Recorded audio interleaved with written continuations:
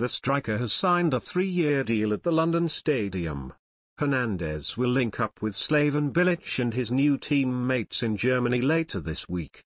He said, I am very happy to join West Ham United. For me, the Premier League is the best league in the world and when the opportunity came, I was desperate to sign for this club. It was not a difficult decision.